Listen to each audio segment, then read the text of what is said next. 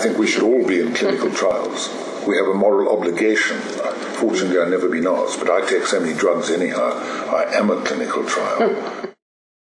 What is a clinical trial? I can't remember, but I did see something about it on TV. I don't know what a clinical trial is.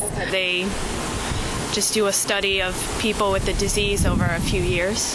Different medications to see what are the side effects, adverse effects.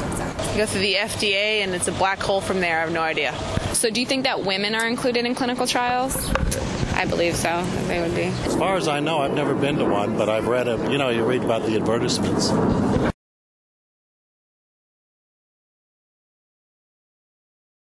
Would it surprise you to learn it's 1993? Mm, it's a long time. Yeah, we should have started sooner.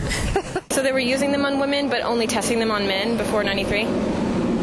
Okay, that's kind of odd. You would think that because trials have been going on for such a long time that they want a fair representation of the general population and, and women should have been included earlier.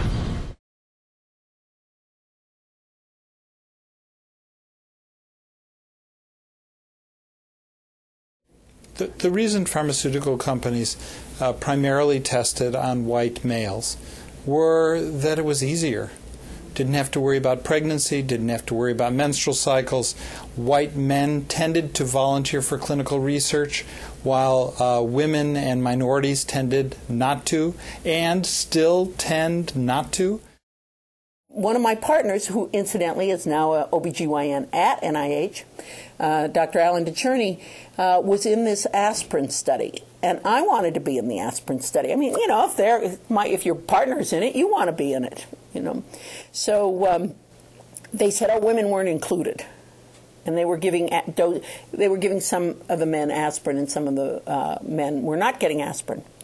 And uh, I, of course, uh, felt that it was important that I be in the study, and I was not allowed in the study because I was a female. And that sort of stuck in my brain. And it turned out it stuck in the brain of a lot of women who were then starting to enter the academic fields. Let's imagine this there's a whole class of medications uh, that are used as osteoporosis prevention and treatments. Several of them were known to be very effective when given to men.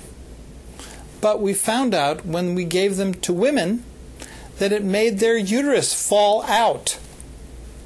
Imagine if we never gave it to women until it was on the market.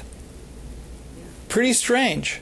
Women need to understand that without their pioneering participation in clinical research trials, there aren't going to be new products and new therapies for them and their daughters and for future generations of women.